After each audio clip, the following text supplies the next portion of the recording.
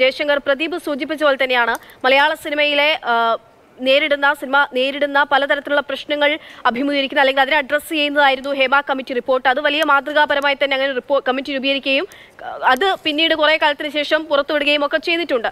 പക്ഷേ അതിൽ ഒരു നടപടിയും ഉണ്ടാകുന്നില്ല എന്നുള്ളതാണ് നമ്മളെയൊക്കെ സംബന്ധിച്ചിടത്തോളം നിരാശപ്പെടുത്തുന്നത്. അതിൽ എങ്ങനെ കേസെടുക്കാൻ പറ്റും കുറ്റകൃത്യം ചുമത്തി ക്രിമിനൽ കേസ് എടുക്കാൻ പറ്റാത്തതിന്റെ കാരണം ഉൾപ്പെടെയുള്ളതൊക്കെ നിയമവശം പല മന്ത്രിമാരുൾപ്പെടെ ചൂണ്ടിക്കാണിക്കുകയും ചെയ്തതിന് പിന്നാലെയാണ് ഇപ്പോൾ പൂർണരൂപം കോടതിക്ക് മുൻപാകെ എത്തുകയും കോടതി അതിലൊരു വിശാല ബെഞ്ച് രൂപീകരിക്കുകയും ചെയ്തത് എങ്ങനെ നോക്കിക്കാണണം?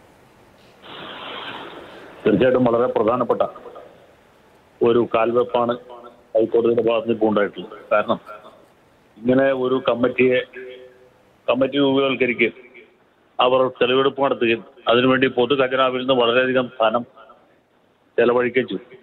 അവരുടെ റിപ്പോർട്ട് കിട്ടിയതിന് ശേഷം നാല് വർഷത്തിലധികം സർക്കാർ ഇത് മൂടിപ്പൊതിഞ്ഞു വെച്ചു. ഒരു നിവൃത്തിയില്ലാത്ത ഘട്ടത്തിലാണ് പുറത്തുവിട്ടത് പുറത്തുവിട്ടപ്പോൾ തന്നെയും ഇതിൽ ഫലപ്രദമായ എന്തെങ്കിലും പരിഹാര ക്രിയകൾ ചെയ്യുന്നതിന് പകരം ഈ പീഡകരെയും പീഡിതരെയും വിളിച്ചുകൂട്ടി ഒരു കോൺക്ലേവ് നടത്തും എന്നാണ് നമ്മുടെ മഹാനായ സാംസ്കാരിക മന്ത്രി നമ്മളോട് പറഞ്ഞത്.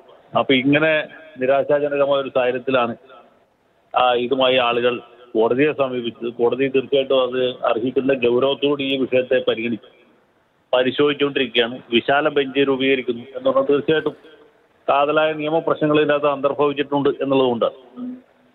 അപ്പോൾ തീർച്ചയായിട്ടും കൂടുതൽ ഗൗരവതരമായ ഗഹനമായ പരിശോധന ഈ രംഗത്തുണ്ടാകും. കോടതിയുടെ ഭാഗത്തുനിന്നുള്ള മേൽനോട്ടം ഇതുമായി ബന്ധപ്പെട്ട കാര്യങ്ങൾ ഉണ്ടാകും എന്നുള്ള കാര്യം ഉറപ്പാണ്. നമ്മൾ ശ്രദ്ധിക്കേണ്ട ഒരു കാര്യം കൂടിയുണ്ട് ദേശീയ മാധ്യമങ്ങളിൽ ദേശാന്തരീയ മാധ്യമങ്ങളിൽ ഇതുണ്ടാക്കിയ ഒരു പ്രകമ്പനം വളരെ വലുതാണ്.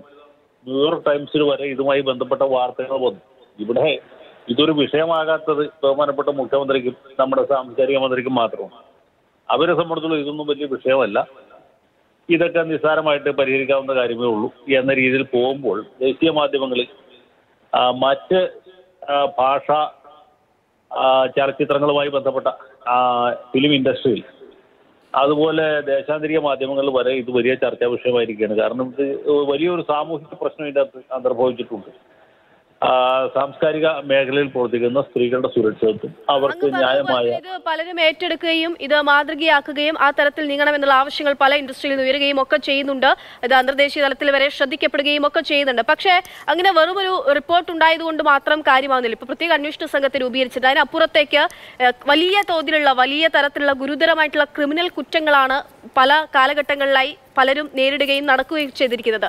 അതിൽ ക്രിമിനൽ കുറ്റം ചുമത്തി കേസെടുക്കാനുള്ളൊരു നിയമസാധുത അത് എത്രത്തോളമായിരിക്കും? ഈ വിശാല ബെഞ്ചിന് മുൻപിലേക്ക് എത്തുമ്പോൾ എന്തൊക്കെ കാര്യങ്ങളായിരിക്കും അതിൽ പരിഗണനയിൽ വരിക?